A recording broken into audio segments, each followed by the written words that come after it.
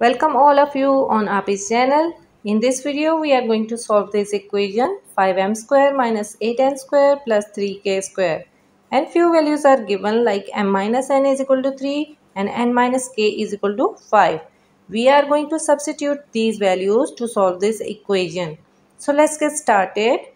First of all we will split the middle value like we can write it as 5m square as it is and minus 8n square as 5m square minus 3n square plus 3k square as it is.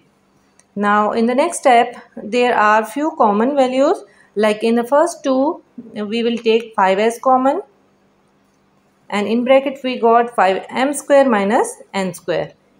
In next minus 3 as common and in bracket we got n square minus k square because whenever we are taking minus as common the inner sign will be changed plus will be changed into minus.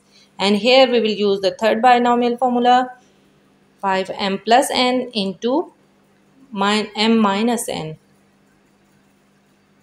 Minus 3 here same again n plus k into n minus k.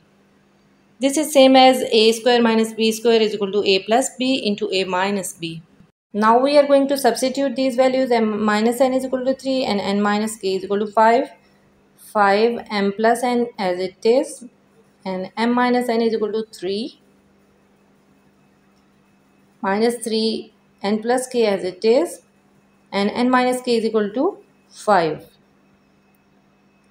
Now 5 3s are 15 m plus n minus 5 3s are 15 n plus k.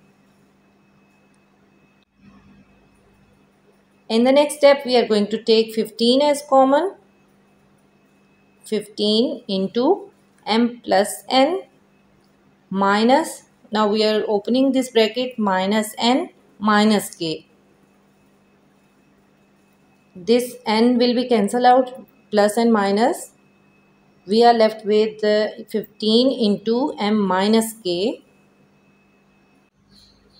we just have the value of m minus n and n minus k but we need the value of m minus k.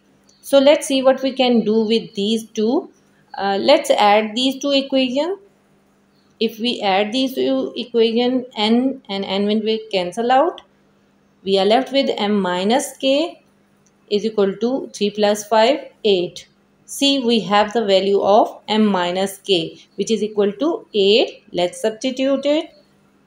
15 into 8 is equal to 120. So this is the required answer. This all equation is equal to 120.